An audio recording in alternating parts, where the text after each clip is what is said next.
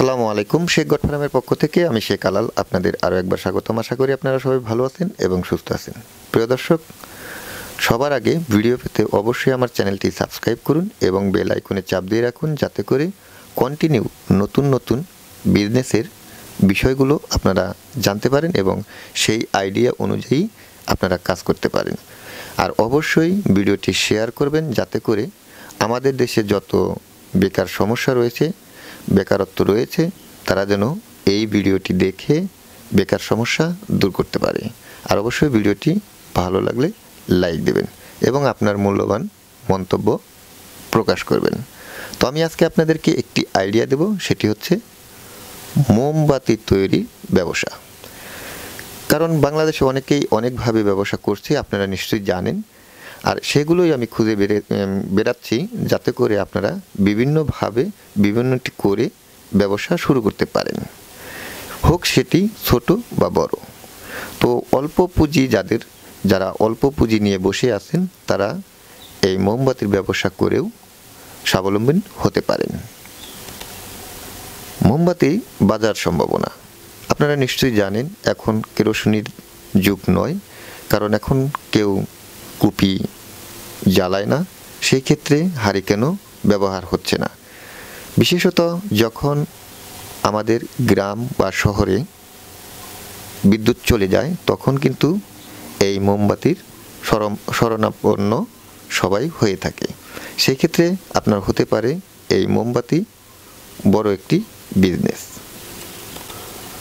মোমবাতির মূলধন আপনার খুবই কম, সেক্ষেত্রে আপনি একটি ডাস যখন আপনি সংগ্রহ করবেন, সংরক্ষণ করার পর সেখান থেকে আপনার কাঁচামালে যে টাকাটি যাবে, মাত্র সাত, সাড়ে সাত থেকে আট হাজার টাকার কাঁচামাল কিনে আপনি প্রতিনিয়ত আপনার ঘরে বসে থেকে কিন্তু এই মোমবাতি ব্যবসা করে স্বাবলম্বী হতে পারবেন।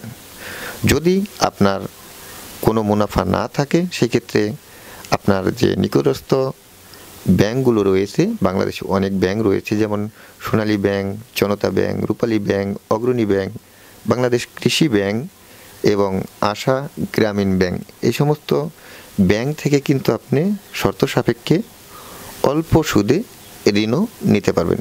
সেটিও কিন্তু আমাদের সরকার ব্যবস্থা করে দিয়েছে। এখন আপনি বলতে পারেন যে আমি প্রশিক্ষণ ছাড়া কীভাবে মোমবাতি বানাবো?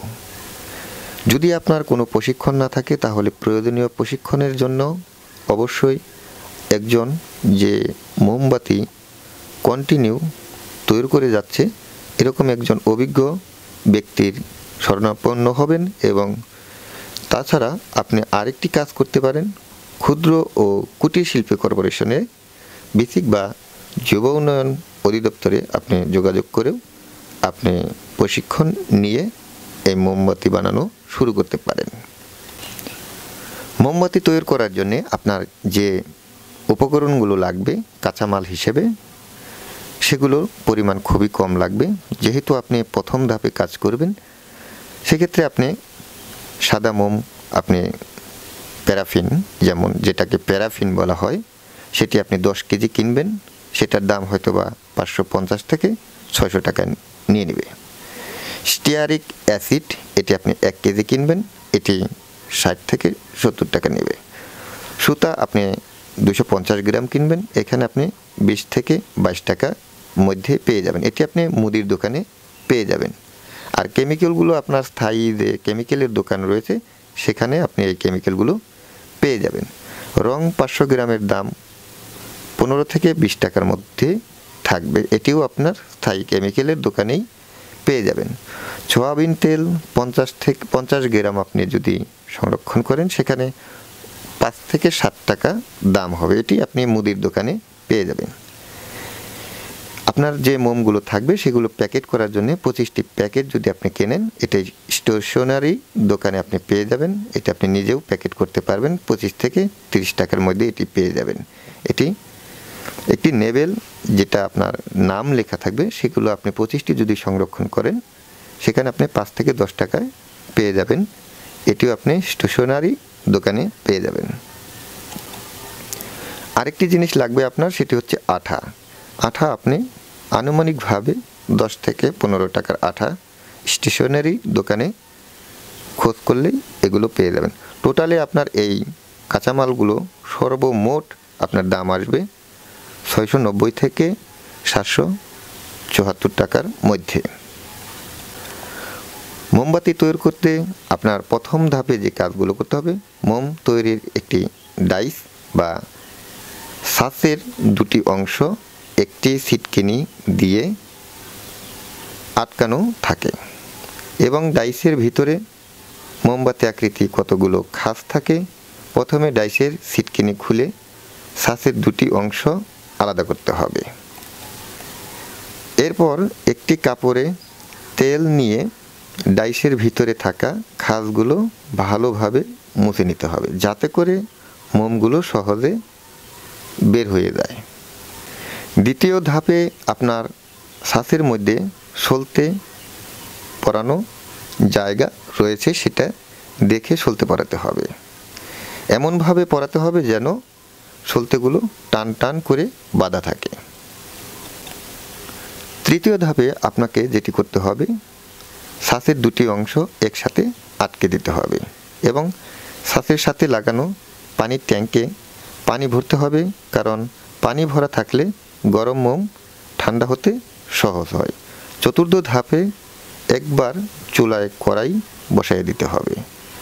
কড়াই গরম হলে তার মধ্যে সাদা, শক্ত, মোম, প্যারাফিন দি। পঞ্চম ধাপে প্যারাফিন গলে যাওয়ার পর বেশিক্ষণ চুলায় রাখা যাবে না, কারণ গলে যাওয়া প্যারাফিন বাষ্প হয়ে উড়ে যেতে পারে। ষষ্ঠ ধাপে আপনার গলা, মোম, মগে বা চামচে করে আস্তে আস্তে মেশিনে খাদগুলোতে ঢালতে হবে। সপ্তম ধাপে মোম ঢালার খাসটি যতক্ষণ না পুরোপুরিভাবে ভরবে ততক্ষণ পর্যন্ত মোম ঢালতে থাকতে হবে। এক্ষেত্রে লক্ষ্য রাখতে হবে যে, মোম ঢালার সময় খাসের ভিতরে যেন কোনো ফাঁকা না থাকে, সেদিকে আপনার খেয়াল রাখতে হবে। অষ্টম ধাপে এসে আপনাকে অবশ্যই বিশ থেকে পঁচিশ মিনিট পর মোমগুলো ঠান্ডা হলে শ্বাসের দুইটি অংশ আলাদা করে নিতে হবে। মোমগুলো বের করে আনতে হবে। নবম ধাপে আপনাকে যে কাজটি করতে হবে, এবার মোমের সলতে বাড়তি অংশগুলো সাইজ মতো কাটতে হবে। এবং মোমবাতিগুলো ভালোভাবে বসে যেন, সেজন্য নিচের অংশে যে তলাটি থাকবে সমান করে কাটতে হবে। বিভিন্ন আকৃতি নকশা করা যে মোমগুলো থাকবে, সেগুলো আপনি নিজে নিজে তৈরির জন্য সেই অনুযায়ী সাজ তৈরি করে নেবেন। মোমবাতি তৈরি করার সময় আমাদের যে সাবধানতা অবলম্বন করতে হবে, সেটি হচ্ছে স্টিয়ারিক অ্যাসিড মোমের সাথে মেশানোর সময় সাবধানতা থাকতে হবে। মোম যদি আগুন ধরে যায়, তবে সঙ্গে সঙ্গে চুলা নিভিয়ে ঢাকনা দিয়ে কড়াই ঢেকে দিতে হবে। চুলার উপর কড়াই থাকা অবস্থায় কখনোই রং মেশানো যাবে না। চুলা থেকে নামিয়ে রং মেশাতে হবে। মোম তৈরি কাঁচামাল থেকে সকল শিশুকে নিরাপদ স্থানে দূরে রাখতে হবে। কাজ শেষে যখন আপনার সম্পূর্ণ কাজ শেষ হয়ে যাবে, তখন মোমের পাশটি পরিষ্কার বা ছাঁচটি পরিষ্কার করে রাখলে সেটি দীর্ঘদিন ব্যবহার করতে পারবেন। এখন আসি আনুমানিক আয় ও লাভের পরিমাণ। আমরা যদি যন্ত্রপাতি, যদি অবচয় ক্ষতি বাবদ যদি আমরা ধরি, সেখানে চার থেকে পাঁচ টাকা কাঁচামাল বাবদ যদি ধরি, এখানে ছয়শো নব্বই থেকে সাতশো চুয়াত্তর টাকা। জ্বালানি যদি আমরা ধরি, এখানে আমরা পাঁচচল্লিশ থেকে পঞ্চাশ টাকার মধ্যেই পাচ্ছি। তাহলে আমাদের এখানে আসতেছে মোট সাতশো উনচল্লিশ টাকা অথবা আটশো উনত্রিশ টাকা। হয় আপনার সাতশো উনচল্লিশ টাকা খরচ হবে অথবা আপনার আটশো উনত্রিশ টাকা খরচ হতে পারে। এই দুটি দিক আপনার জানতে হবে। এখন আসি আয়ের হিসাবে।